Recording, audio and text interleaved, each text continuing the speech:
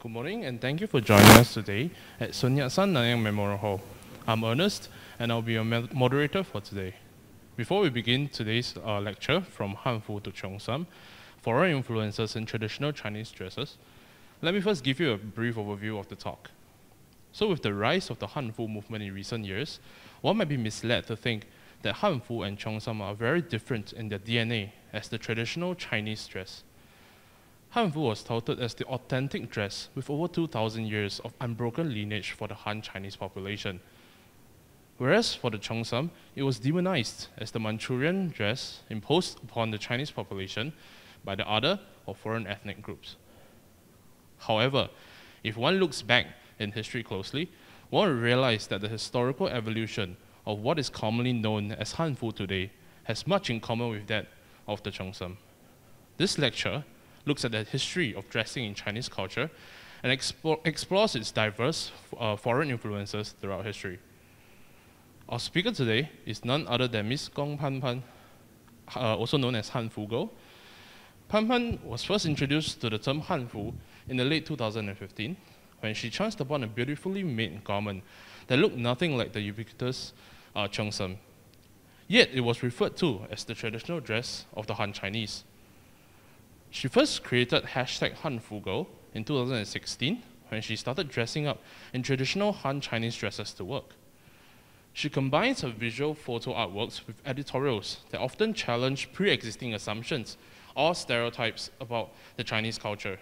And it also draws parallels between the past, the present, uh, the East and the West.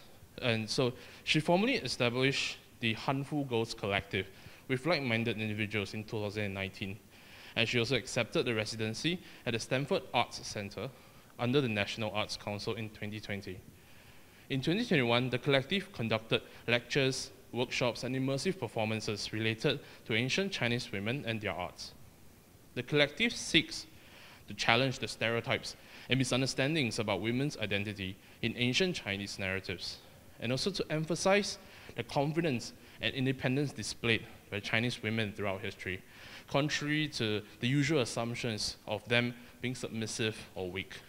She believes that we only need to look to the past to see the future, and that women should feel empowered to their own uh, identities by challenging these stereotypes. So without further ado, a very warm welcome to Pan Pan. Pan Pan, please. Thanks for having me today. Uh, today I'm going to give you a very brief uh, history of the traditional Chinese dress and its evolution over the past two to 3,000 years. First off, we're going to start with yeah, our collective. So on the screen is actually a, um, a very brief visual history of evolution of Chinese dress from the Han Dynasty on the top left corner till the Cheongsam. So the idea of fashion, as we know in the turn of the last century, was actually a brainchild of uh, you know, capitalism. So fashion was supposed to be changing rapidly so that you have the fast turn of fashion and people consume things. So to the Western eye, the Chinese dress seemed to be like immune to change. It's a costume. And people were like thinking that, you know, the Westerner philosophers or sociologists were saying that, you know, Chinese dress doesn't really change. It's as stagnating as the society itself. But Chinese, being a more relational society, actually focuses a lot on hierarchy. So dressing to them was not simply something about um, you know, uh, fashion styles. It's, um, it's really very important to the identity because through thousands of years, it was um, showing of your hierarchy. You have to wear certain style according to the season, according to your social hierarchy, and it was all codified in law. So that was something that's very different from the Western concept of dressing up. So we have a few quotes at the turn of last century. The Chinese family of last century looked very much like a Chinese family of the classical age. Really? We'll look at it later. And then the variation in Chinese dress from dynasty to dynasty occur at the speed of rather hesitant glacier. Yet again, is the emphasis that you know Chinese dress, dress doesn't seem to change. And then the Mandarin's robe scarcely changed in the course of centuries. But then Chinese society itself scarcely moved at all. So it became a politicized comment about Chinese society, about how Chinese society was so hierarchical and so um, oppressive that it, it justifies certain um, actions by the West as to have this superiority over the Chinese. And it's not just the Western scholars. Uh, famous Chinese literati, Eileen Chang, also was saying that, you know, generation after generation of women wore the same sort of clothes without feeling the least perturbed.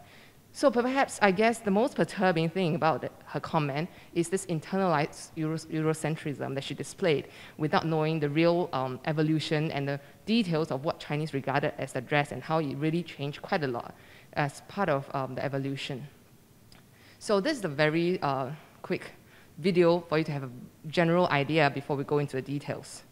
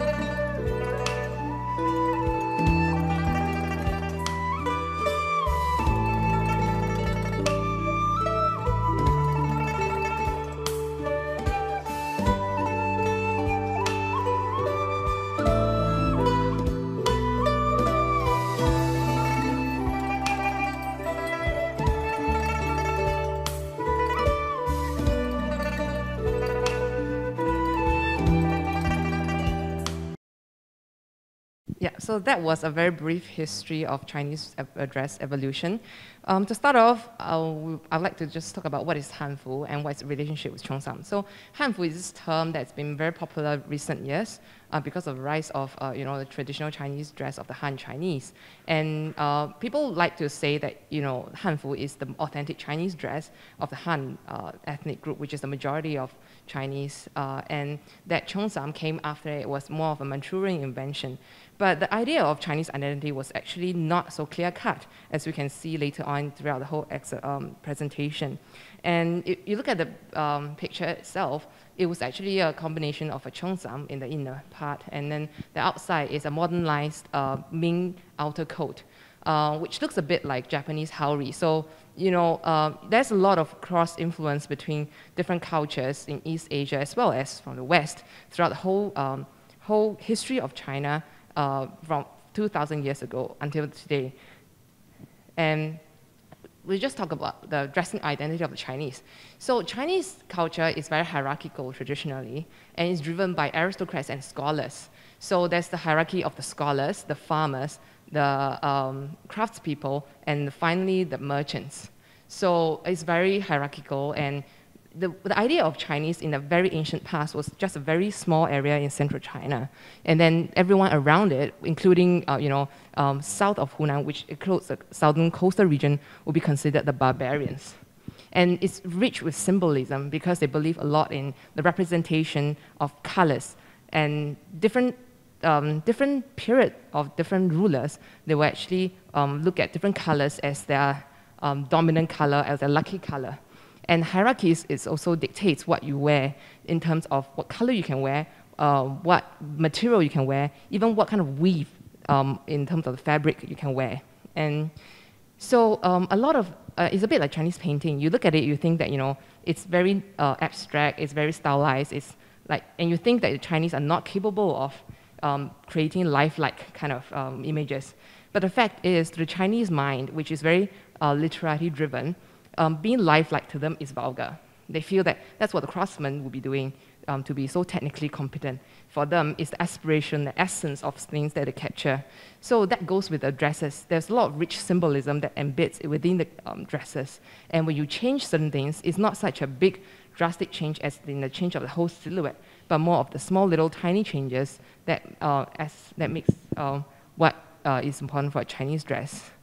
And the innovation in the fabric was also very important because you look at it and then you look at um, the Chinese uh, weave, they've changed a lot over the years and it was also in a codified term what people can wear, what kind of weave they can wear according to our social hierarchy. And that is kind of change that was very invisible to Western minds, um, to Western scholars when they were looking at the Chinese fashion. They were looking for a change in silhouette, silhouette but the actual change were in a lot of the subtle details. And the Chinese dress was generally flat cutting, flat inverted comma, because um, it's not like the Western dress with 3D tailored to your body, but it, it does have certain kind of flow to it, and it was very nature driven. So they like to see how the fabric flows on your body and creating a certain kind of silhouette. And as I mentioned, craftsmanship is a lower priority because um, they were very big on uh, literary and this aspirational idea of uh, uh, you know, literary-driven culture. And then defining fashion in Chinese term, as I mentioned, it's codified. It's a full set of look from what you can wear on your hair, what you can wear on your body, what kind of motif, to what shoes you can wear even.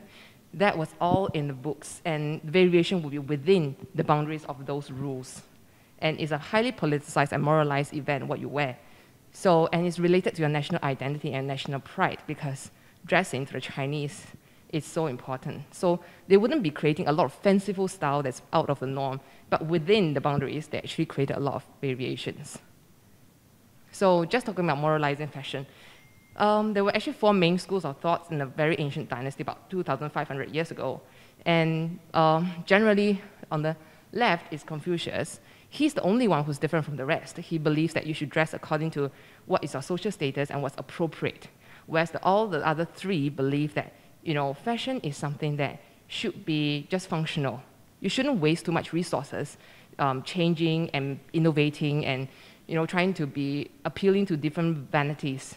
So vanity was a big hoo-ha, a big no-no to the Chinese because they value farmers. You know, they believe that you have to be sustainable. You have to appeal to, uh, you have to value the hard work and labor of people instead of just keep changing for the sake of um, like what we see today as fast fashion. And so there were five milestones in terms of foreign cultural infusion in Chinese fashion that were quite drastic, um, bringing about a lot of changes in terms of material, in terms of um, the, the, colors or changing styles. And this was the Warring State, which was a period of 300 years of war where Chinese was made up of small kingdoms. And then there was the, uh, after the Han Dynasty, which is also again a period of great change when the nomadic tribes came to China and there were a lot of kingdoms breaking up and then, you know, uh, having warfare and intermixing of culture. And Tang Dynasty as well is a very big um, period where there was a lot of trade going on between the West and the East. And Qing Dynasty, of course, there's a, again a lot of changes because of the Manchurian rule and also the exposure to the West. And finally, the Republic of China because of the modernization and again, foreign influences.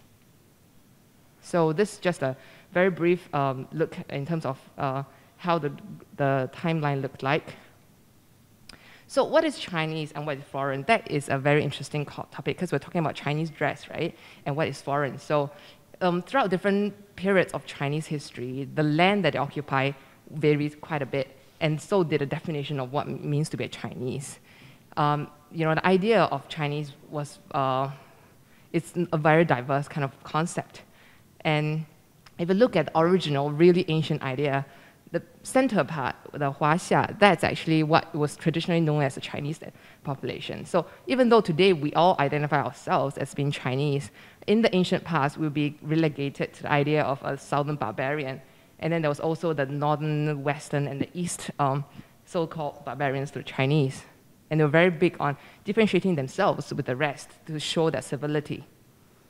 And so during the ancient period of Shang, that's the area that you occupy. It's actually a very small area compared to today. And during those period, about 2,500 years ago, which is the Warring State period, there was this new idea that came about. Uh, it was about the, anything in the whole um, in the whole cosmos were divided into five elements.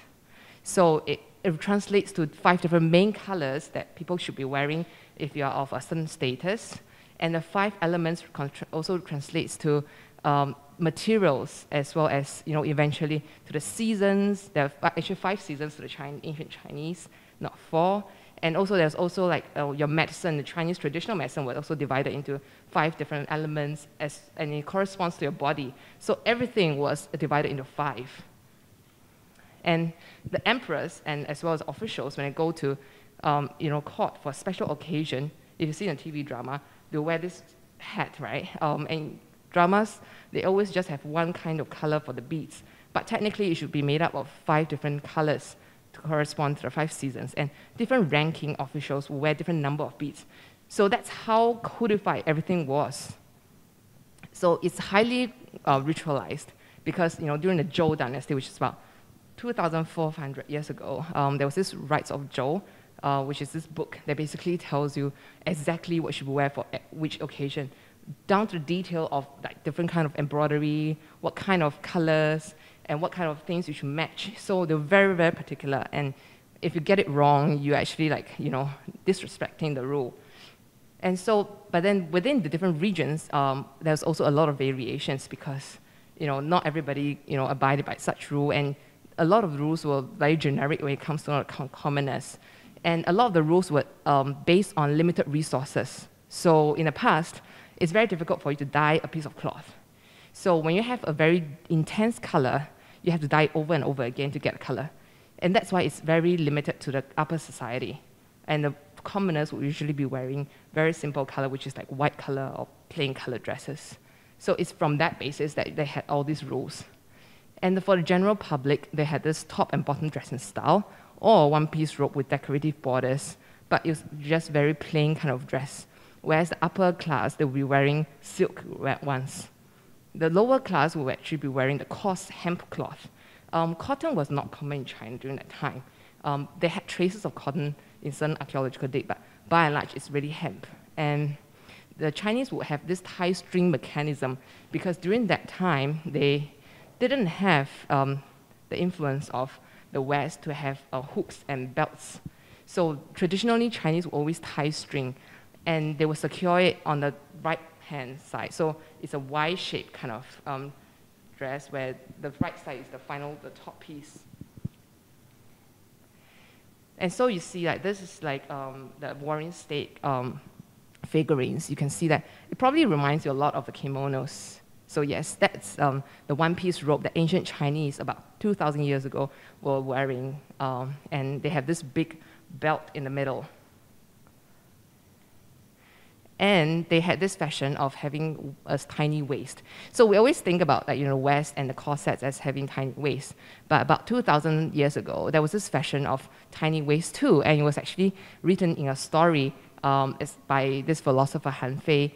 He basically said the king of Chu, which is like Southern Kingdom, he really liked people with tiny waists. So all his officials started starving themselves to be very have tiny waists, to the point that when they were having uh, a court session with him, they were fainting because they were so hungry.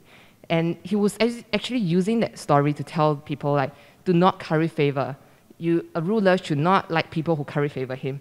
He should like people who tell the truth. Because if these people can't even, um, you know, eat properly, they can't even give you sound advice, But that kind of shows the, the culture of that period, of this preference towards a very tiny waist. And you can see paintings that, you know, uh, women were dressed in a one-piece robe and with a special emphasis on a tiny waist. And gold is actually not very uh, traditional Chinese, even though today we associate Chinese with gold. But in, back in the ancient times, um, the literatis especially, they favored uh, jade. So gold was something actually more of like a Western kind of influence, most likely from the Persians or Egyptians um, that brought in the uh, habit of gold. And, and then pants. Um, ancient Chinese men didn't wear pants, they wore one-piece robes. And it was because of the military adoption of pants that uh, people started wearing pants um, in the Chinese society. So I mentioned that people are very big on identity in terms of being civil Chinese, Han Chinese, compared to the nomadic tribes, which they saw were barbarians. So initially, when um, the Lord Wuling of the Zhao Kingdom, he proposed to adopt pants for military use so that it's more convenient when you go to war. Um, they, he faced a lot of objections. So um, but then eventually he managed to persuade the king, and then you know they finally managed to adopt it. So people would uh, generally the court officials were very um, not uh, not for it because they feel like it's a dilution of the Chinese uh, civility by wearing pants, by wearing something that the barbarians wore. And when they finally adopted it, it was definitely a lot more efficient for war. People can ride horses properly, people can run properly. You don't need to get obstructed by a lot of fabric. And then they started winning wars. And the surrounding countries, uh, the kingdoms, they saw that, oh, hey, um, this kind of dressing, even though it's barbaric, so to speak, you, you, you get things done. So being pragmatic Chinese, right, they started adopting it throughout. So that started a wave of adopting pants in Chinese culture. Yeah, and also, of course, with the pants, that's not just it. It's also the leather shoes, um, the way of using metal hooks for fastening and securing instead of the tie string. So imagine going to a battle and your string come loose and everything come loose. So it's not very pragmatic. So definitely, these were a lot of the Western nomadic tribes' influences because that's just the lifestyle and it's definitely a lot more efficient in war. And as we mentioned, the securing on the right versus securing on the left. So the nomadic tribes would secure mainly on the left because I think horse riding, you, let, you wouldn't want the wind to go in um, to your body, so definitely you need to secure on the left. Whereas the Chinese being agrarian, they just uh, differentiate themselves by securing on the right. And the pants, these were like really pantyhose. That's the kind of pants that ancient Chinese men would have wore under their robes. And that's also why Chinese people, they had to kneel because can you imagine you sit and they didn't have chairs in those days. Um, it would actually be exposing a lot of things. So um, it's definitely like, uh, it's a very Chinese thing to kneel because of the, the restrictions in their garments. And yeah, so this was, this was uh, the kind of pants that the ancient Han Chinese would have worn in a traditional way. Um, and the kind of um, pants, like two pantyhose, plus uh, like a loincloth kind of uh, um, shorts, that was uh, all the way until Qing dynasty, which is like the last dynasty of China. That was the kind of pants that they still continue to wear. So it come back in fashion once in a while. And then you have the Tarim Basin, which is like the Western nomadic tribes. So Tarim Basin is actually Xinjiang, which is the modern day China, and that's actually considered a foreign land already. And then we have the Qin dynasty. So this is the, uh, and after that, there was the Han dynasty that ruled for 400 years, the longest period in Chinese history. So people were wearing um, the qiji, which is a one-piece robe, wearing two pieces, and the dancers were wearing like something with water sleeve is very, um, very familiar with. And the craftsmanship of uh, Chinese silk was uh, at a, a, very highly sophisticated period. For one of the archaeological dig, there were actually two ropes, which is about 10 pieces of A4 size paper weight, and it's really huge. And um, they were not able to replicate it until today um, because the silkworms were actually producing very fine silk during the period. And one of the joke during the, uh, one of the interesting story that I read uh, of a Tang dynasty was that this Arabic trader was looking at a Tang official and he saw a mole through his um, silk gown. And he said, Wow, you're wearing two layers of silk. I can still see your mole. And the official laughed and he said, I was wearing actually 10 layers. So it goes to show how fine silk were in the ancient Chinese society. And then there was a period of like 400 years of battle that broke up in China. And Chinese was divided into many lands with a lot of nomadic tribes occupying Chinese land, intermarrying and introducing a lot of um, their culture within China. So even rulers um, in the later period, they were actually of mixed blood uh, of nomadic tribes and Chinese. So, so during that period, during this war period, um, prolonged war period, there's a lot of influence. So cotton was brought in from uh, uh, India and like um, Buddhism, but it was not the cotton as we know today. It was kapok, which is like from the tree instead of from the shrub. And then they started wearing furs, um, and the Han Chinese were using it mainly as a decorative thing. And then the Beiwei, which is uh, a nomadic tribe, which is also one that merged um, with Chinese and started ruling Tang Dynasty later on. Um, there was this ruler who was so um, pro Han Chinese wearing that his own people killed him because they were afraid of betrayal. So this idea of uh, identity and dressing was very in, ingrained into the society. And there were a lot of um, attempts of different rulers adopting Chinese dress to uh, show their civility. And then there was this adoption of pants by the society instead of military. So people started wearing pants more and more. And you know, it looks like you know the 80s style uh, of the Beatles style. So that was the archaeological dig from, the, um, from that period. And women, of course, they have very fantastical kind of hair. Um, some of them were like inspired by paintings, and some of them were actually like um, uh, because they have access to more material goods, and then they were able to like do really fancy hair. And then comes Tang. So Tang period was actually a very cosmopolitan kind of culture because the rulers themselves, they were of mixed descent. They were a mix of the nomadic tribe and Han Chinese. And during that period, the Silk Road, um, both maritime as well as the land, were very much active. And you can see that the culture, the dressing of the Tang were actually very different from earlier period because of these Western influences. And they were very big on uh, stripes. So, you know, um, on the right is Emilie Flöge, which is a Bohemian designer who inspired many of Klimt's painting, and she was seen as a fashionista at the turn of last century. And this kind of fashion was actually uh, already, you know, worn by Chinese during the Sui dynasty, which is about, uh, you know, a thousand years before, more than a thousand years before. And they really liked a lot of stripes. Even kids were wearing stripes. And they have this very high waist or um, on the chest kind of thing which is a very uh, not Han Chinese dress. And you see that they have very narrow sleeves, which is easier for movement. So all these are foreign influences. And we always think of Tang Dynasty as like the low plunging neckline. But actually, the real plunging neckline is not the typical one you see in show, but rather like that kind of a vest, which is a V-neck kind of thing. And that occurred in early Tang period, when it was still a very um, Western nomadic tribe kind of style yeah, so it was, if you look at the Tang style, you realize that it's actually quite modern. And over the years, you saw that, you know, as time progresses, the Tang women started to wear uh, a lot more flowy dresses. Their body also get rounder. Um, that is more of a, like influence of the Han. So Han people are used to very flowy dresses. And the nomadic tribes, because of the lifestyle, they like really tight ones or, or narrow, uh, easier for movement ones. And over time, they sort of adopted more of the Han aesthetic, and the dresses became longer and longer. But it also signified a lot of wastage of material, such that at a certain period of time, the Tang emperor mandated they shouldn't wear uh, dresses more than a certain kind of, uh, using more than like X meter of cloth.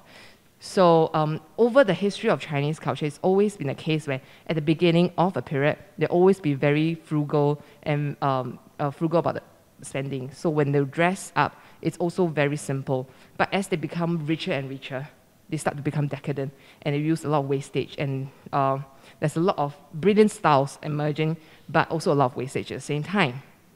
And women during that period, because of dress got so long, their, their shoes also have very fanciful patterns. Um, the flap in the front of the shoes was actually pointing up so that you can tuck your skirt on top of it, and when you walk, you won't trip over it. And you can see that even during that period, based on whatever archaeological dig we can find, there's already a lot of these kind of styles. And they were also made out of very brilliantly weaved materials. During Tang Dynasty, the, besides weaving um, the patterns, they also had all this uh, wax resist dyeing, which is a bit like batik, um, and also uh, other ways of like making patterns. So that was a period where there's a lot of um, brilliant colors uh, from everywhere. And there's also, of course, cross-dressing. Cross-dressing is not new to Chinese culture also. Um, and during Tang Dynasty, it was especially popular because it's convenient. So uh, male, uh, female attendants, uh, or even princess, like Princess Taiping, who is the daughter of um, Wu Zetian, so she liked to wear um, the male robe as well. And we see a lot of archaeological findings of um, females wearing uh, the male robe. And that male robe was actually more of a um, Persian kind of style. So on the left is actually a reenactment group in Europe who um, look at reenacting the Sogdians, which is the Central Asian traders, the way they would dress. You can see that it's um, secure on the left, which is a very nomadic way. And the Chinese Han, uh, the, the, the Tang people were actually secure on the right. But by and large, the styles actually very similar. And yes, so attendants would like to wear it, uh, and they wear it on top of pants. And of course, they love the opulent and the foreign. So they've got all kinds of facial paintings, decorations on their hair and their, on, on their face. And this will actually influence us also from uh, foreign as well as indigenous to Chinese. And the accessories, um, there were a lot of gold during that period. Gold is not like when you watch TV, right? You know, it's not a transactional item. It's not you can give someone ingot to buy something else. In those days, a gold has to be gifted by the emperor and you can't use it to buy things. You have to, uh, you can use it to you know, make accessories. And so um, they were using a lot of um, like turquoise, which is less China than, uh, than the traditional Chinese. They didn't use a lot. There was not a lot of jade. There was a lot of gold and um, this kind of precious stones that was more like foreign influence. And you can see the similarity between the Chinese accessories and that of the, say, the Greek, as well as the Mesopotamian and of course, Buddhism, a lot of the necklaces, the exaggerating, uh, brilliant big accessories that Chinese women were wearing towards the end of Tang Dynasty was very, very much an influence of India because of, of the um, popularity of Buddhism in China. And also the motif of lotus, uh, as well as the mandala in Chinese motifs um, and the dresses were also influence of, from India. And also the mili, which is the Chinese veil hat, it was definitely a uh, not an indigenous Chinese one. And it used to cover the entire body. And as time passes, it became more like a, um, it became shorter and shorter. And it's mainly worn by aristocratic women when they go out horse riding. And brows, um, the brilliant brows of Tang Dynasty, they were very uh, bold and thick compared to the traditional Chinese of thin brows. And um, the courtesans were definitely the one that driving the fashion. They were known as the brow ambassadors. And uh, you can see that even based on whatever we can find, there, were, there were actually a book that will mention about 10 different brow types. And we can find that more than that during history. And there was this, towards the end of it, uh, Bai Ju, famous poet, wrote about the contemporary makeup of the period that was influenced by the West, and he saw it as a sign that the country is going uh, into decline. When women stopped powdering their face with normal powder, and they started drawing this downward turning brow and coloring their lips dark. And of course, there's also this rouge that they were applying on the face that resembles that of the Tibetans. So Tibet and China had a very close relationship during that period. And in the early days, um, Princess Wencheng uh, was married to Tibet to civilize them. So the irony is that uh, when the Chinese married her to the Tibetans to civilize them, um, they, uh, uh, she, was, she went there to tell them to stop applying this kind of makeup on their face because they saw it as not um, civil enough. And then towards the end of Tang Dynasty, there was this comeback of this kind of style where Chinese women started applying this on their face uh, because it's fashionable and they thought it's a nice thing to have. And this is a few of the photos uh, of the Tang styles.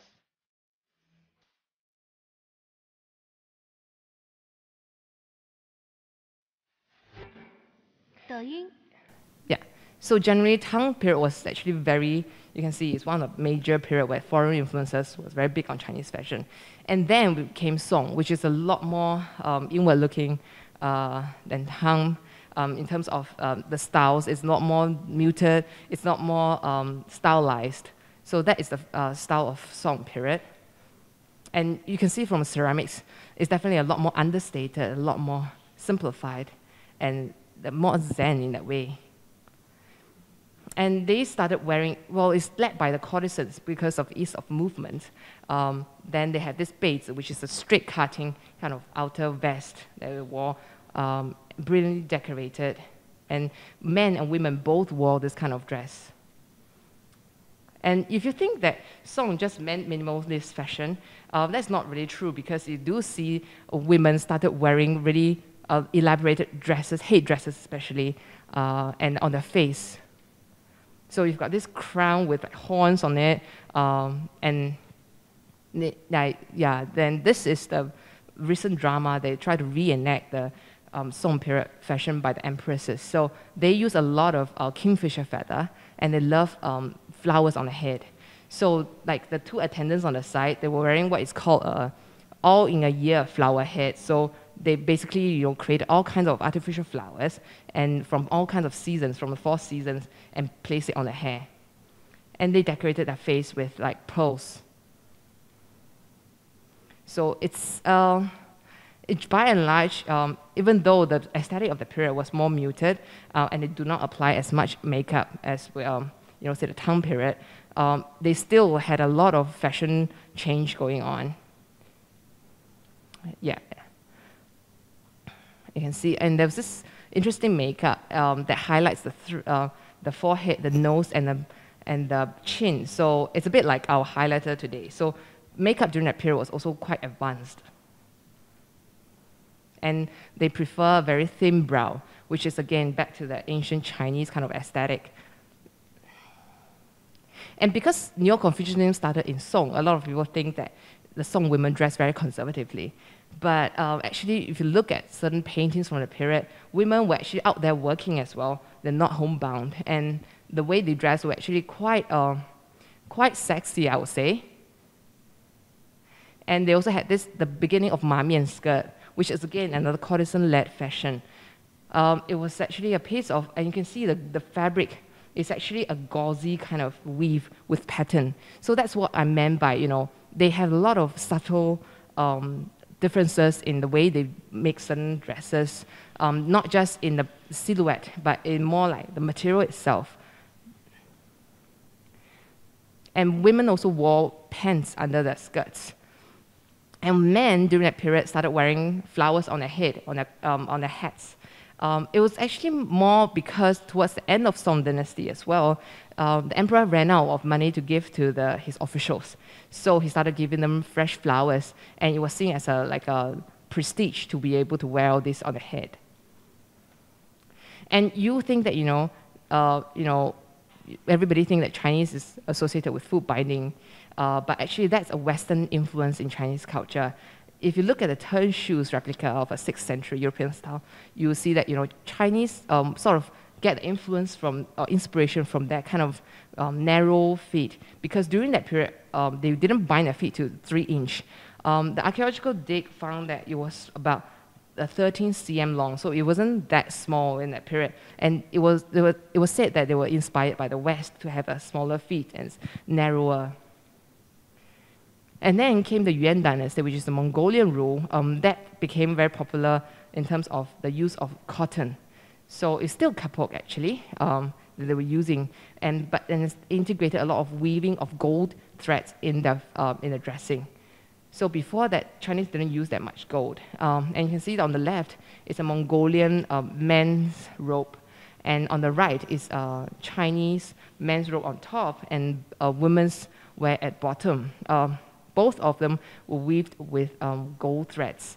And you can see the similarity between the Mongolian robe and the Ming period robe. And that was a period because of all the commerce, uh, you know, uh, they had almost hundreds of styles. And women were changing their dresses from originally like 30 years um, one style to every two to three years there was a new style coming up. And you can see that there's a video.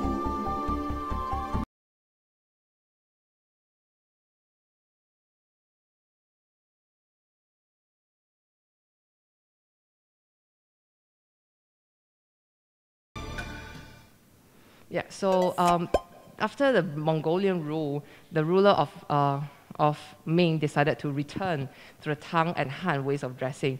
So he sort of reinstated based on the, um, on the, uh, on the records what Chinese would have worn in the ancient period before.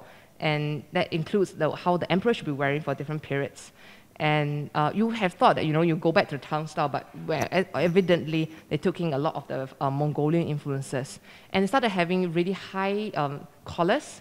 So what we see as Mandarin collars actually was a very Ming kind of thing. And they started to have uh, buttons that's made of uh, metals and then they started back, yeah.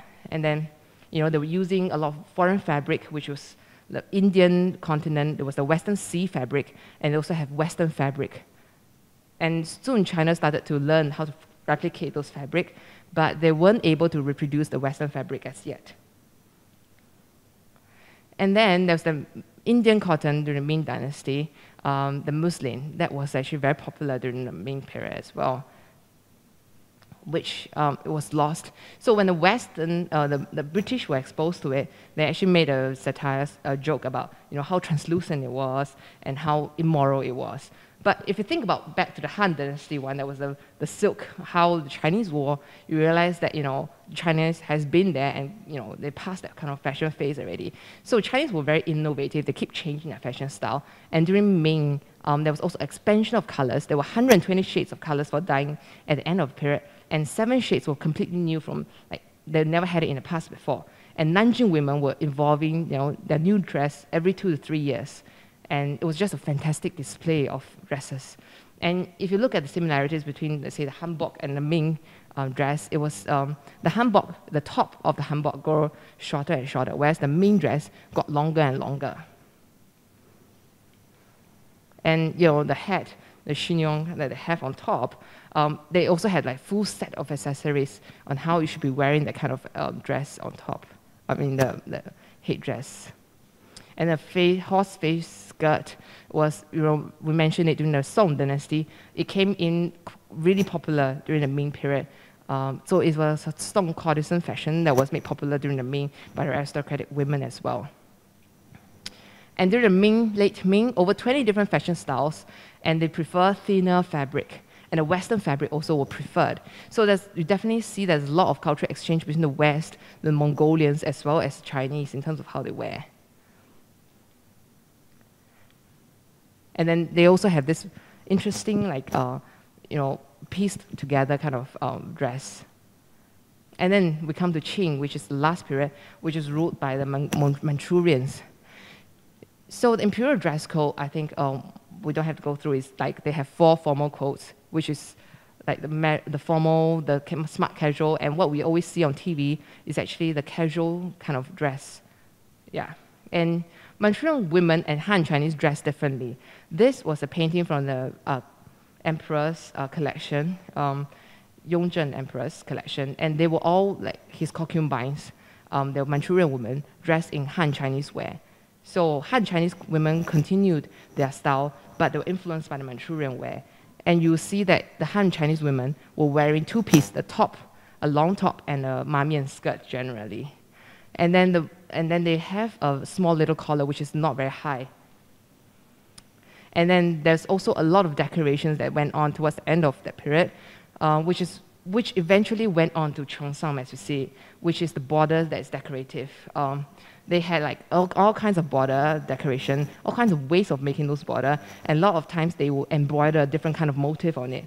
And there was like three gun, gun and xiang with different kinds of uh, borders that they, were, they had and all the way up till 18 layers of that kind of decoration.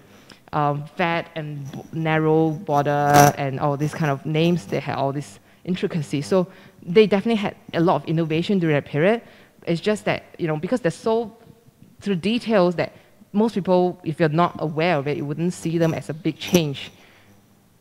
And even their shoes were brilliant decorated. So you can see those were the tops. Um, and if you look at the details of how the embroidery went and the decorative borders, you can see that there's a lot of variation already. And the sleeves, they also kind of, they have like the horseshoe sleeve, and they've got um, hood sleeve and like uh, a folded sleeve and all kinds of sleeves as well. And the Manchurian robe, and we always look at Chinese as a Mandarin collar, but that was a Ming kind of fashion, and during that period, um, uh, you know, in Cheongsam, uh, it was the, the Manchurians didn't have collars. They had to wear a scarf around themselves when they don't have collars. So when you come to Cheongsam, you realize that that was adoption of the Ming kind of collar. And you know the dresses, they had all these accessories that was uh, made popular during that period, um, which we don't have time for to go through today. But that was just towards the end of the Qing dynasty. So um, yeah, so so then we come to the um, you know cheongsam, which is what we're all familiar with, with high collar, which is a very Ming kind of fashion instead of a Manchurian. And it's a return to one piece, as we've seen from the start. In the Han Dynasty, 2,000 years ago, women started wearing robes. So we see the fashion is cyclical, and uh, you realize that Cheongsam, even though it was uh, seen as a Manchurian invention, it integrated a lot of Han Chinese element, and the Han Chinese fashion also integrated a lot of foreign elements throughout its evolution. And this is where we are today. And then it evolved um, to a more Western cut. Yeah, so that's the end of today's lecture.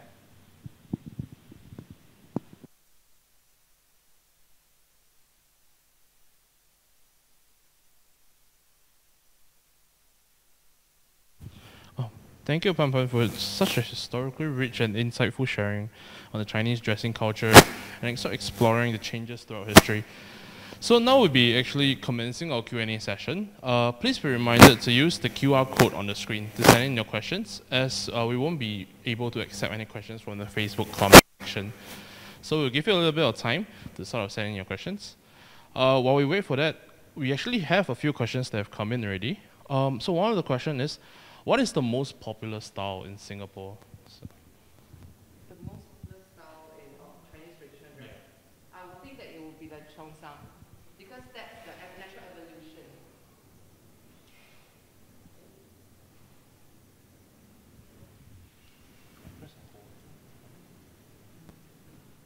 Okay, sorry. Okay.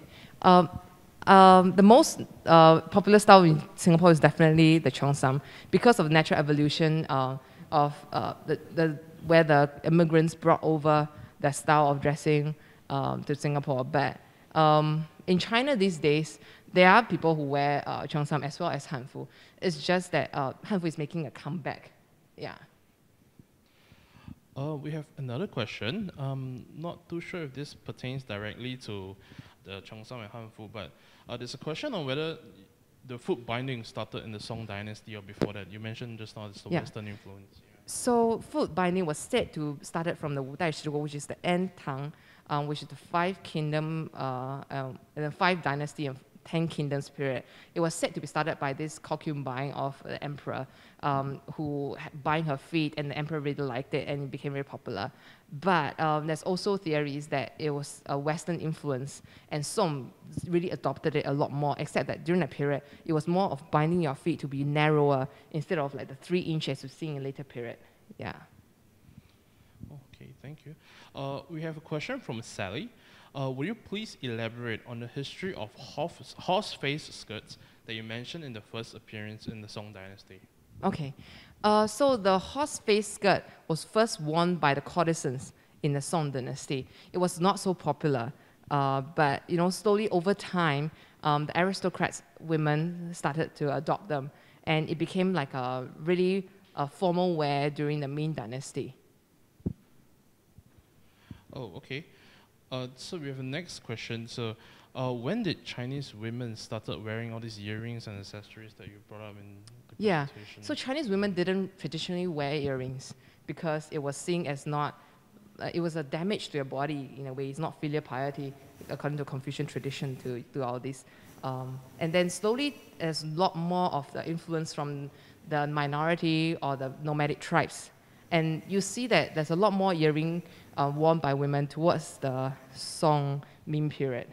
Yeah. See. Oh, so uh, are there any more questions from the public?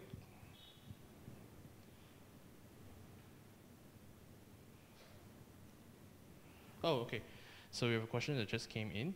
Uh, could you please elaborate more on how the Mandarin collar evolved through the years? Okay, so traditionally, the, the Ming Dynasty women, they wore high collar with um, metal um, buttons. So that was the first time we see a high, like the, the like semblance of Mandarin collar. And during Qing Dynasty, if you look at the Manchurian wear, it was a round collar typically. They didn't have the high collar.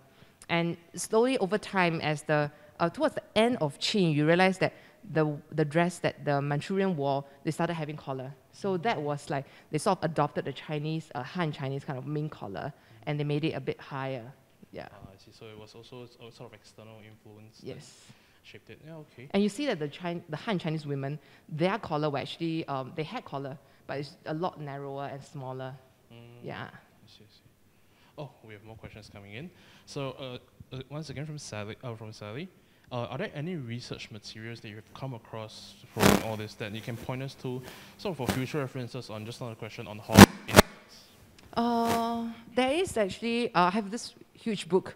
Uh, it's like my Bible for traditional Chinese dress.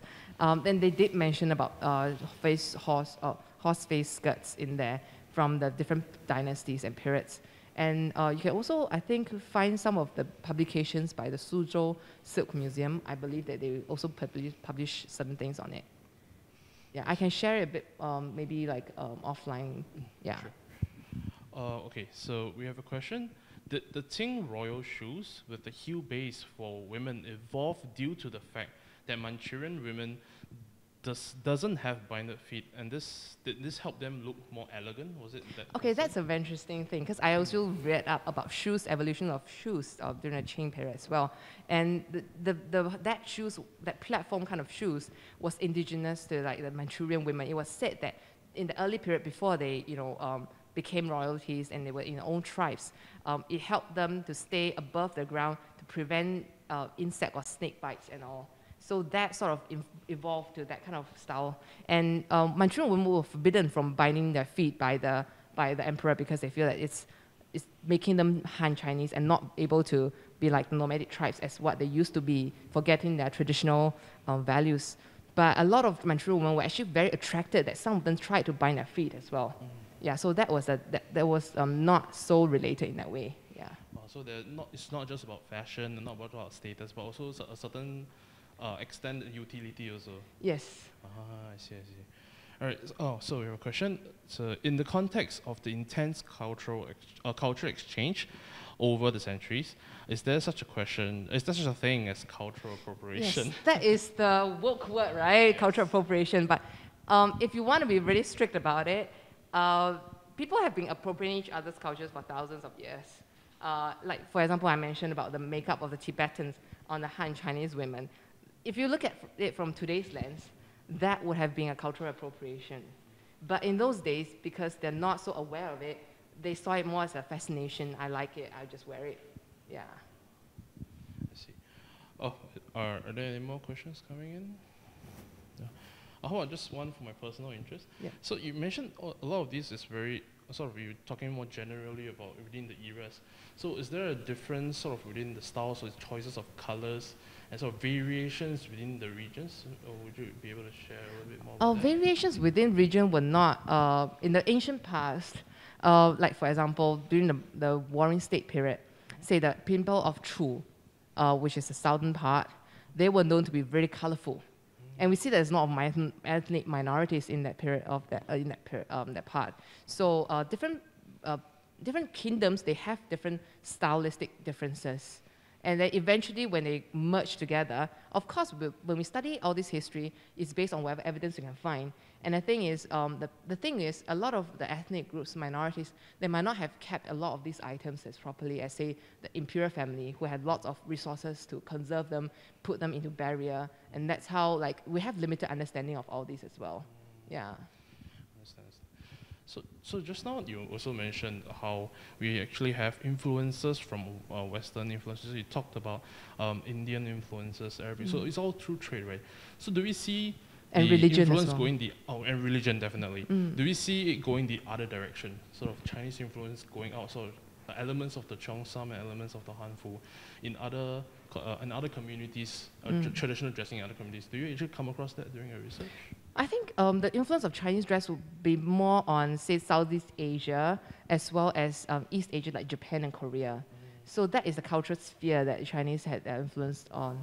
Whereas the Chinese would influence a bit more from the West in terms of um, the other influence, like the, especially the traders from Central Asia and um, yeah, through all these trades. Mm, I see, I see. Oh, there's a question that just came in. Uh, so do you actually like to know? Uh, do you like to know the of the title of the book which you mentioned in your presentation? Will you be able to share with the Yeah, I'll, I'll share it offline because I don't remember it off the top of my head. Sure, it's uh, a Chinese book, yeah. You can reach out to us. We'll just share, share with you. Yeah. Yeah.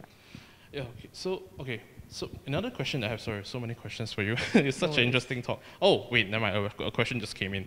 So uh, which is your which, which is your favorite era in terms of ancient Chinese uh, women fashion, and also why did you choose this period? Definitely Tang Dynasty.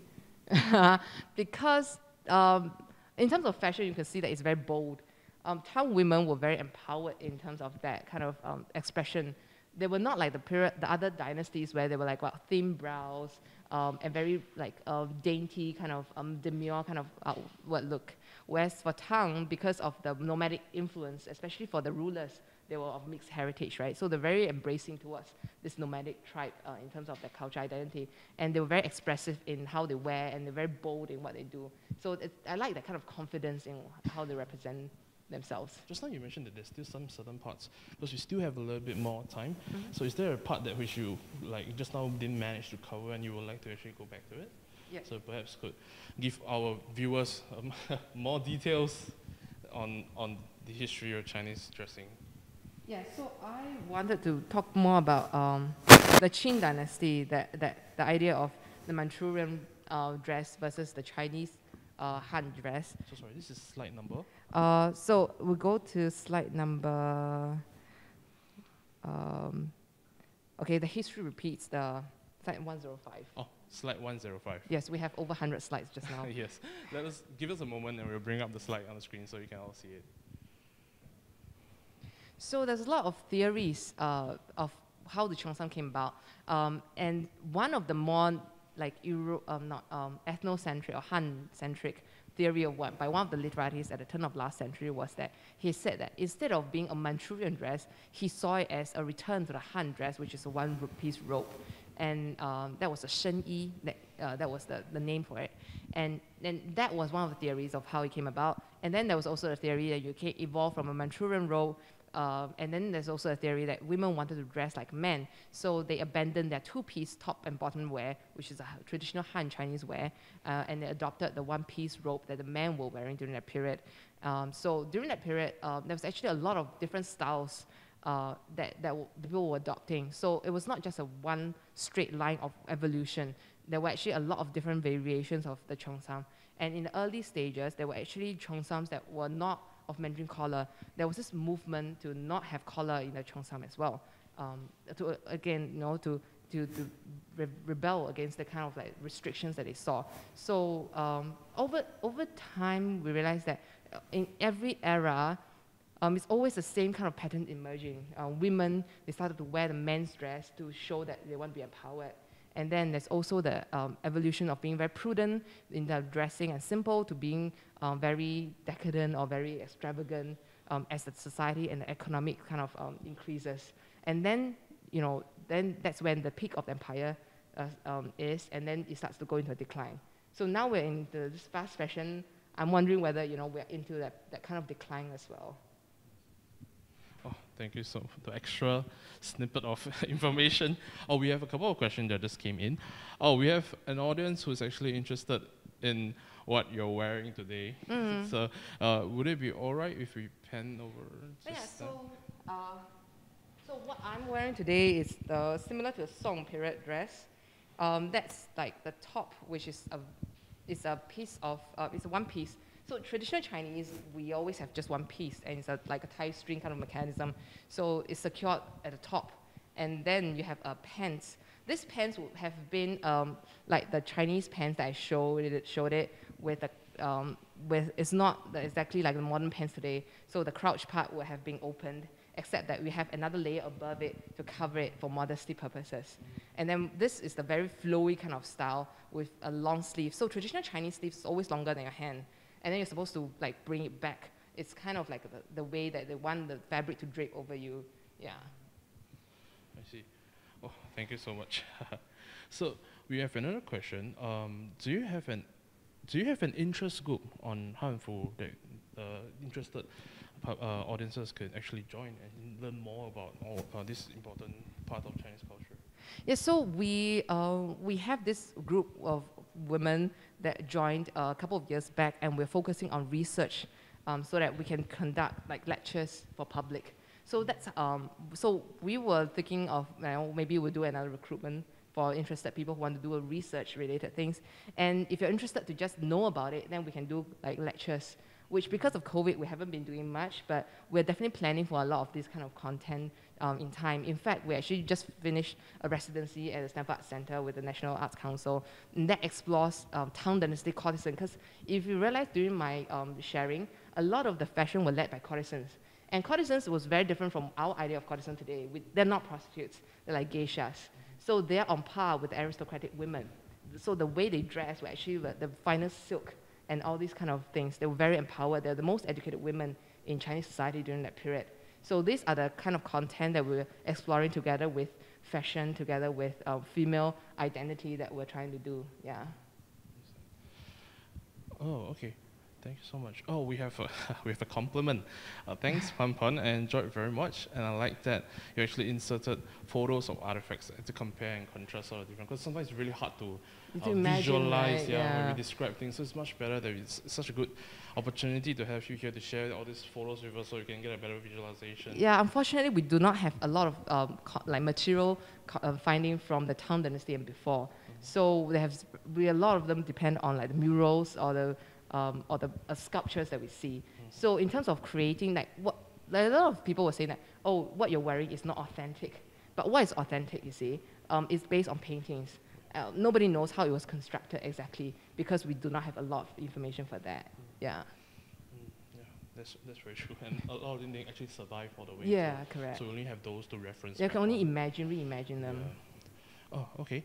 Oh, we have a question on the detachable collars. So how how what about the detachable collars? So did the Manchus use them or Mm. Yes, I was trying to find out more information about the collars of Manchurians because you, you see it shows right in the court where they did have a collar. So um, whatever limited resources I could find, I would see that they did have like a fake collar inside, and then you know you wore the rope above it. Yeah. so the collar was more of a decorative purpose? Yeah, I think so. Mm, I see, I see. Um, okay, so we have a question on how did the pockets in the Chi- uh, Chinese sleeves work, and when did this function started in Chinese Chinese sleeves? You know, there's not much research on it, but I sort of figure it as I was wearing all these things. Um, there were different kinds of. Um, as I mentioned, right, there was all kinds of sleeves.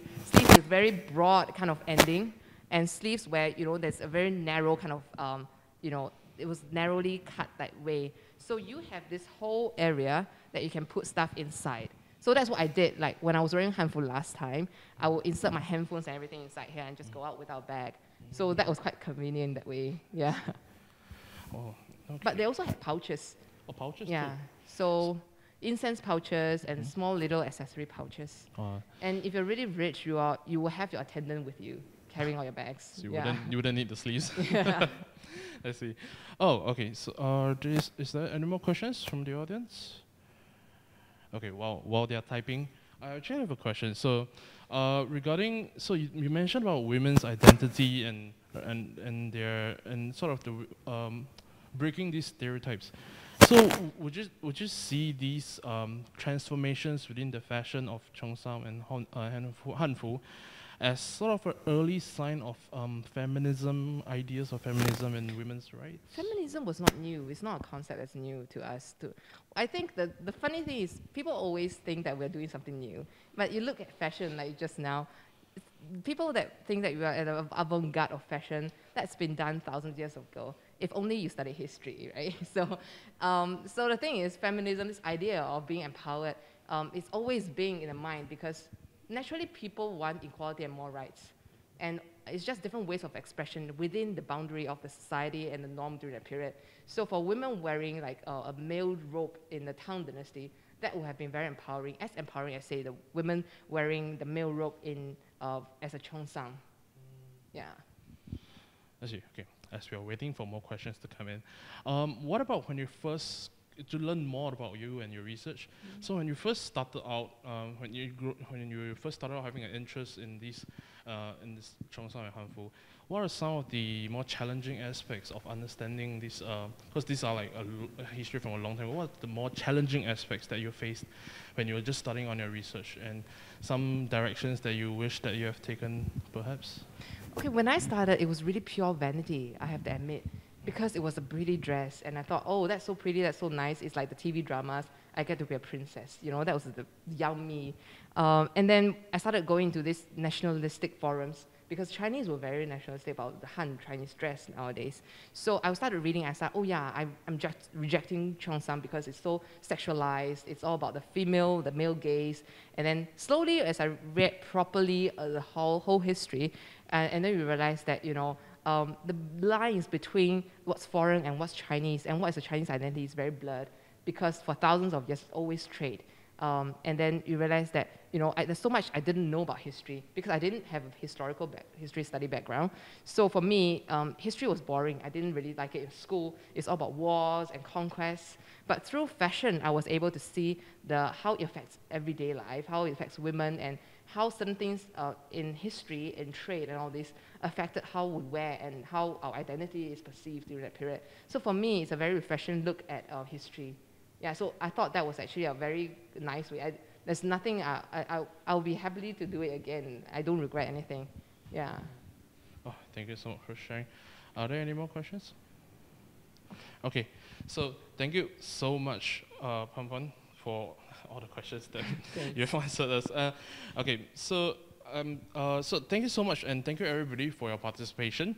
Uh, in the next slide, you can actually we, please scan the QR code uh, so provide us with some feedback on how we can improve upon the next time when we have the talk. And once again, thank you, Pan Pan, and thank you everybody for joining us today, and have a good weekend ahead.